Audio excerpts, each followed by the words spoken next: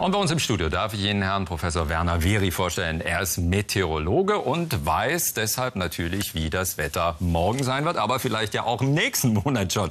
Jetzt haben wir einen harten Winter gehabt. Kriegen wir jetzt als Kompensation sozusagen einen warmen, milden Januar? Wenn wir das wüssten, wären wir wirklich toll. Die, der Dezember ist nun eindeutig zu kalt. Äh, Langfristvorhersagen über einen Monat hinaus sind leider nach neueren Untersuchungen überhaupt bisher nicht erfolgreich. Warum denn nicht? Äh, ganz einfach, weil die Atmosphäre von kleinen Änderungen große Änderungen herstellt und die in den Modellen bisher nicht berücksichtigt werden können. Das heißt, das ist ein prinzipielles Problem in dem System Wetter sozusagen. Man wird es nicht verbessern können, wenn man immer bessere Computer und immer bessere Netze hat und Wetterstationen. Man hofft es. Viele Zentren machen das auch probeweise.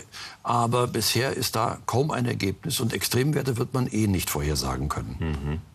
Schade eigentlich. Vielleicht gucken wir dann doch auf das längerfristige und den Einfluss der Sonne nochmal. Wir haben ja gehört, da gibt es einen bestimmten Zusammenhang. Nun haben wir aber auch festgestellt, dass die Sonnenaktivität in den letzten Jahren ja relativ niedrig war, über viele Jahre. Und jetzt kriegen wir plötzlich ein, zwei kältere Winter. Sehen Sie da trotzdem einen Zusammenhang? Das hängt noch nicht mit der Sonne zusammen, kann man so noch nicht sagen. Die Sonne bei wenig Sonnenflecken schickt wenig Sonnenwind. Das ist Partikelstrahlung in, die, äh, in den Weltraum.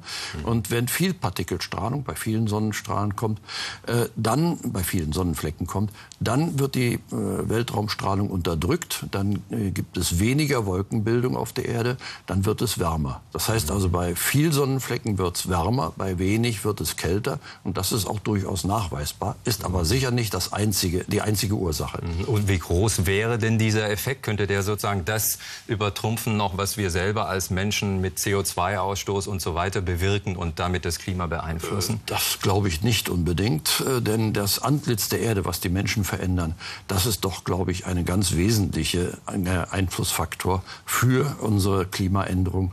Und da sieht es eher so aus, dass die Sonne, wenn sie jetzt weniger Flecken haben sollte, das dämpfen könnte. Da hätten wir Glück gehabt. Also die Sonne taugt sozusagen nicht als Ausrede für diejenigen, die sagen, na, wir belassen mal mit unserem CO2-Ausstoß alles, wie es bisher so ist, weil es ist ja der Einfluss der Sonne. Nein, äh, man muss nicht auf CO2 gehen, man kann auf die Ressourcen, auf die Vorräte gehen. Das ist viel einfacher darstellbar. Wenn das Öl alle ist, haben wir Probleme mit allen möglichen Sachen.